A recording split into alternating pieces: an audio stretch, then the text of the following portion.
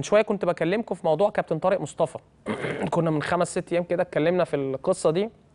قلت لكم إن كابتن طارق مصطفى آه، مش هيكمل في آه، الجهاز الفني لنادي الزمالك. وحتى الناس استغربت وفي ناس قالت لي انتقدتني قالت لي يا كريم أنت عمال تقول والناس هتمشي وده يمشي وده يمشي.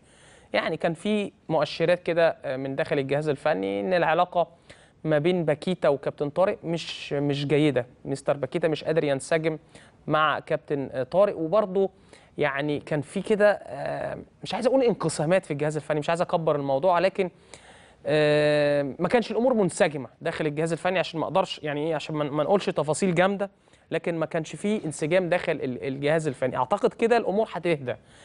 داخل الجهاز الفني بعد رحيل طارق مصطفى. مش عشان طارق مصطفى وحش ولكن عشان آه، أسلوب طارق مصطفى مع مستر باكيتا ما كانش فيه انسجام أو ما فيش توافق ما بين الاثنين النهارده حصل اجتماع وأنا امبارح قلت لكم النهارده هيحصل اجتماع للجهاز الفني لنادي الزمالك مع المستشار مرتضى منصور. المستشار مرتضى منصور قعد مع باكيتا لوحده اتكلموا وبعد ما قعدوا مع بعض لقينا إن مكتوب اعتذار الكابتن طارق مصطفى عن الاستمرار. فطبعا أكيد باكيتا اتكلم مع المستشار مرتضى وقال له أنا مش محتاج طارق مصطفى ممكن يكون موجود سامي الشيشيني ممكن يكون موجود مدحت عبد الهادي الجهاز الفني بالكامل فبس مش محتاج طارق مصطفى. وبالتالي كابتن طارق مصطفى كمان هو ما كانش مستريح فقدم اعتذار عن الاستمرار في الجهاز الفني لنادي الزمالك.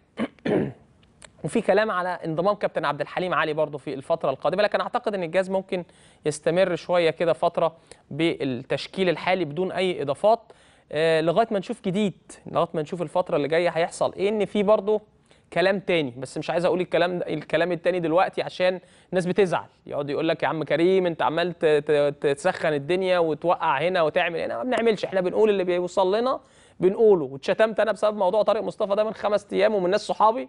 يعني قالوا لي يعني طارق مصطفى ده صاحبك وإزاي بتقول قلت لهم يا جماعة دي مع الصحوبية حاجة والشغل حاجة تانية. هو في معلومات عندي بتقول كده فقلت الموضوع. فدلوقتي بقول لأصدقائي اللي هم كانوا انتقدوني من أربع خمس أيام أهو موضوع اتحقق زي ما إحنا قلنا بالظبط.